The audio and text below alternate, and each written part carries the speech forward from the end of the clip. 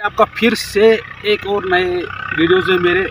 तो ये वीडियोस मैं कोशिश करूँगा बहुत अच्छा आपको बन, लगे और अच्छा बनाने की करूँगा कि आज का जो वीडियोस बनाने का, जो ब्लॉग बनाने का हमारा मसला है, वो है बानीहाल फोर लाइन अशर लामर के आसपास ही है ये जगह। तो टोल प्लाज़ा भी इसी के साथ में जहाँ मैं बैठा हूँ तो मैं अपने साथी को ये कोशिश बोला, बोल बोल रहा बोलने की कोशिश करूँगा कि आप ज़रा आगे दिखाइए। फिर आपके साथ इसके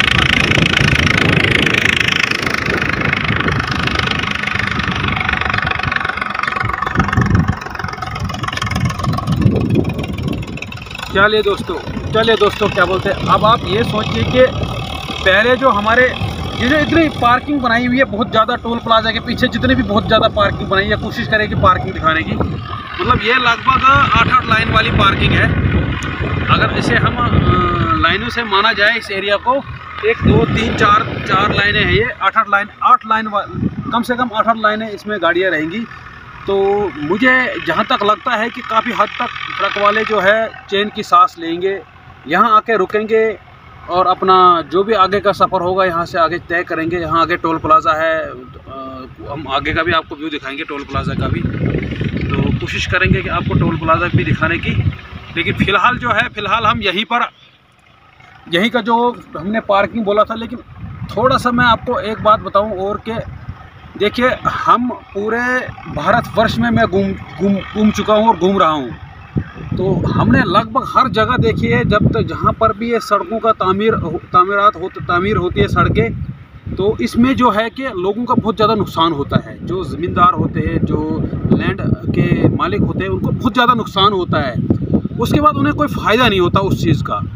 और हर जगह ग्राउंड की तमीर सड़क के साथ साथ कर, कर दी जाती है इसलिए कि जो युवा पीढ़ी जो है वो ग्राउंड पे खेले कूदे वो सरकार की तरफ़ से फ्री होता है।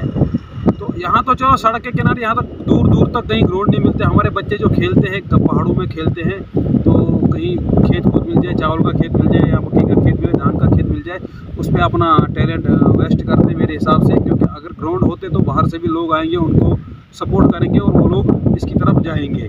खासतौर लॉकडाउन के दौरान पढ़ाई तो हो नहीं रही है लोग बच्चे अलग अलग क्षेत्रों में चले गए। और अगर ग्राउंड वगैरह होते, हम नहीं ये बोलते कि आप खाली क्रिकेट ग्राउंड दे दो या फुटबॉल बड़े बड़े ग्राउंड दे दो। अरे छोटे ग्राउंड जिसमें वॉलीबॉल खेले कबड्डी खेले खो खो खेले गुल्ली डंडा खेले, बहुत सारे गेम जो है हमारे क्या बोलते हैं, संस्कृत में थी और वो नहीं रही अब। वो इसलिए नहीं रही कि अब हमारे पास ग्राउंड नहीं है इन चीज़ों के।